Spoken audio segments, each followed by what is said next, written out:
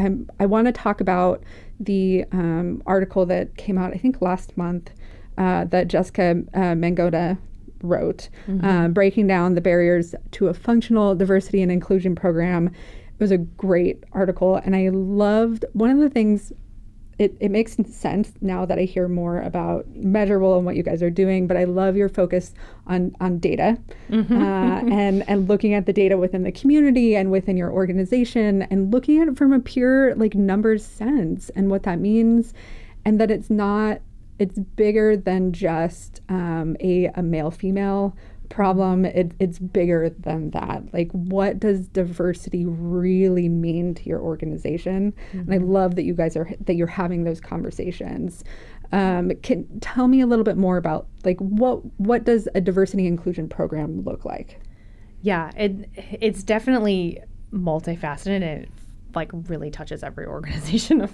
like every component of our business in a lot of different ways you know, diversity is looking at maybe some things that you can see and tell and connect with people. And sometimes it's things that you maybe not be able to see as well. Um, and how you be intentional with it is, is definitely, definitely important. And so when you talk about diversity and you talk about inclusion, they are two very different things. And when you look at inclusion at our in our business, and this is something that is always driving back to intention around everything that we do.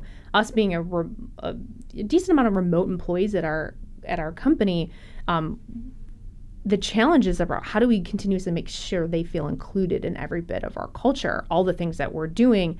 How do we? How do you make sure that you f- make sure everyone in your business feels a part of the community? And that is what inclusion is in a lot of different ways. Yeah. Um, it's making sure that our remote team can see, um, you know, our team meeting from the perspective perspective as if they're sitting right there. Um, it's making sure that when we order food at our company, that those that have food allergies have been addressed and that they're feeling included and not feeling different or feeling excluded in some ways if we're all going out to grab a beer, there's definitely people in our organization who don't drink alcohol. How can we make sure we're picking a place that also makes them feel a part of the team and the community, depending on what actions or uh, community things that you're doing? It's, it goes into so many, so many different things. When you're interviewing, if you're sitting in a room, are there people who I can uh, connect and identify with? Um, do we have diversity at the table to make sure they feel included in that community? Is is huge. And you know, I definitely want to tell a story of a few weeks ago. I was talking to our, our CTO, and he was like, "Yeah, oh my gosh!" He's like, "I'm so excited. You're gonna be so proud. We're interviewing um, this female candidate for this front end position. It's so exciting." And he goes, he kind of stops. He goes, "Oh no." He's like, "We don't have any women in the room for her interview." He's like, "Oh my gosh." Can you please sit in that interview to make sure she feels included? I like it was like one of the proudest moments of of of my career so far to be like absolutely Lance. I probably have no questions to vet her ability to do this job, but I will sit in that room to make sure that she feels included. Um, and I'm sure Rachel will uh, listen to this later because we did hire her and she's joining us soon. Um, but that's you know some of the things to think about of how do you make sure people feel part of the community, whether they're in their community or assessing if they're going to be a part of the community. So that's a little bit of our approach and some of the practical things that we've done. And when you put those things on top of your mind, people start realizing, oh, I wouldn't have thought about this before if we hadn't really been talking about how to pe- make people feel included. Yeah, yeah. I, I love that's great story. Uh, and I, I love the that you're looking at all those different aspects of making sure everyone feels included uh, at, at Learn, we work really hard on our with our teaching staff and make sure that there's diversity there in all of the different, not just.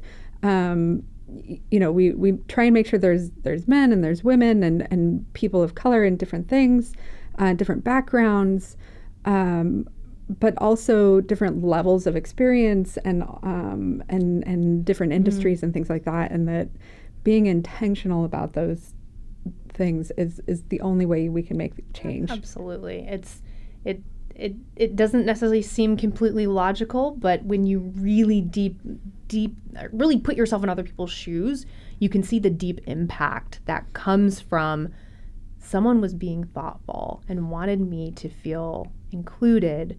And that creates such a deep, deep connection to a community and builds a company where people want to be in and want to work in. And at the end of the day, creates long lasting employees um, that aren't going to turn over, um, which we don't have a whole lot of turnover. So I want to say that maybe the work that we're doing on that has something to do with it. Um, I'm sure there's many, many different reasons, but making sure people feel included is the most important thing we can possibly do. Yeah, I think you you just hit the nail on the head with the the, the reasons why more companies should be looking at these types of programs is is because of the impact it could have on their business and in the retention of employees and the dedication and in just their work um, quality is so much better when they feel included, when they feel like they're a part of something. And that's really exciting to see. Um, can you talk a little bit about the different um, types of diversity that you're looking for in, in teams and, and how you guys are tackling that? Yeah, and and we we tackle this on probably many different fronts. So gender diversity is something that we definitely have made a lot of strides on.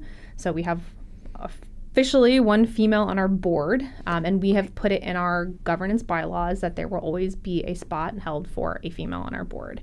Um, yes, we are in California, but we don't necessarily fall mm-hmm. underneath the requirements for the law that requires a female on the board now.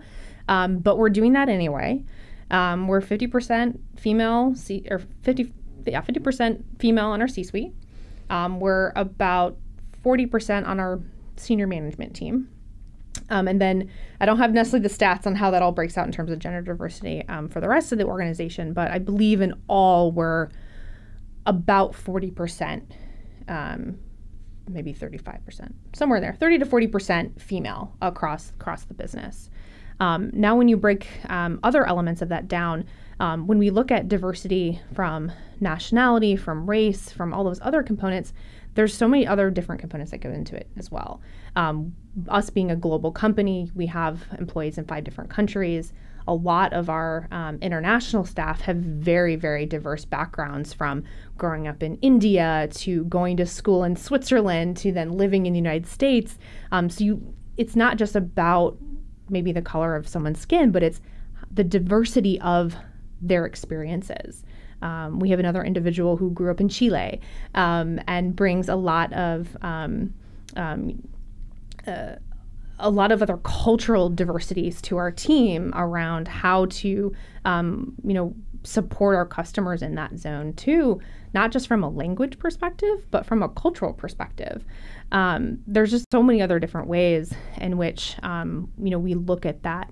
Um, we have quite a bit of multilingual um, employees overseas too, where they're speaking four or five different um, languages, growing up in many different countries that have been able to get a lot of diverse experiences. Um, and then we've we've got quite a bit of people that you know I think I maybe told this story when we were speaking on the panel um, um, over at San Diego Startup Week. Um, you know the early uh, beginning of our our company was a bunch of UCSD water polo players. um, and so we have a very disproportional representation of water polo players, you know, on our company.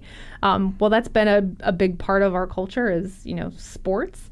Um, but looking at different ways in which that plays into our culture um, and the diversity of sports now that we have on our team too. While not, uh, you know, a huge relevant point, but you know, looking at different ways in which um, we can support those things and making sure that people feel included based on you know language, based on um, different countries and cultures that they grew up in, um, how they've um, you know grown up here in the United States from different backgrounds, from where their families have come from. Um, those are the type of diversity things that we really love to see um, and want to bring those perspectives to our team as well.